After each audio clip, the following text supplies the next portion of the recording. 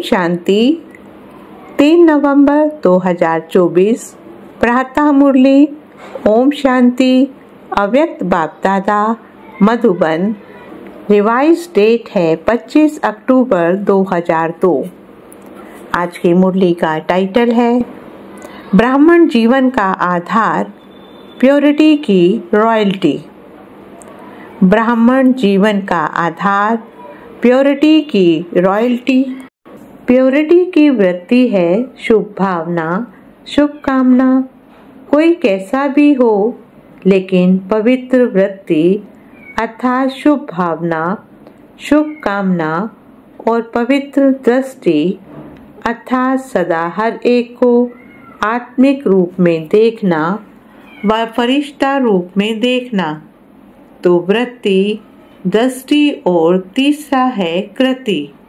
अर्थात कर्म में तो कर्म में भी सदा हर आत्मा को सुख देना और सुख लेना।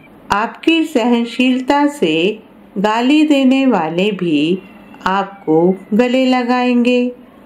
सहनशीलता में इतनी शक्ति है, लेकिन थोड़ा समय सहन करना पड़ता है तो सहनशीलता के देव या देवियाँ होना हो, सदा यही स्मृति रखो। मैं सहनशील का देवता हूँ, मैं सहनशीलता की देवी हूँ।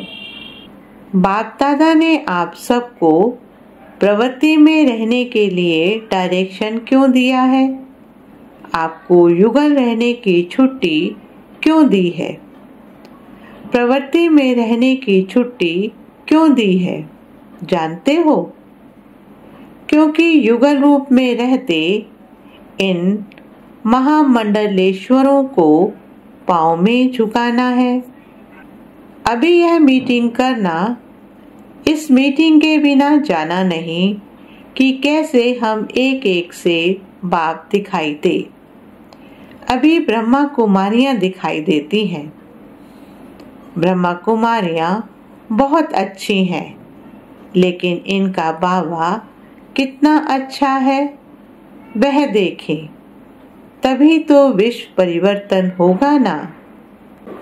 अच्छा चारों ओर के अति स्नेही, अति समीप, सदा आदिकाल से अब तक रॉयल्टी के अधिकारी, सदा अपने चेहरे और चलन से प्योरिटी की झलक दिखाने वाले, सदा स्वयं को सेवा और याद में तीव्र पुरुषार्थ द्वारा नंबर वन बनने वाले सदा बाप के समान सर्वशक्ति सर्व गुण संपन्न स्वरूप में रहने वाले ऐसे सर्व तरफ़ के हर एक बच्चे को बाप दादा का याद, प्यार और नमस्ते।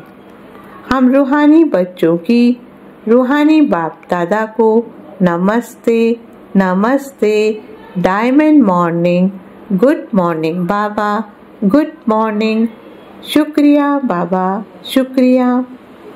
आज की मुरली का वरदान है।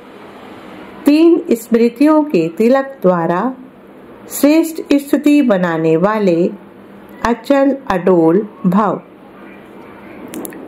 तीन स्मृतियों के तिलक द्वारा श्रेष्ठ स्थिति बनाने वाले अचल अडोल भव।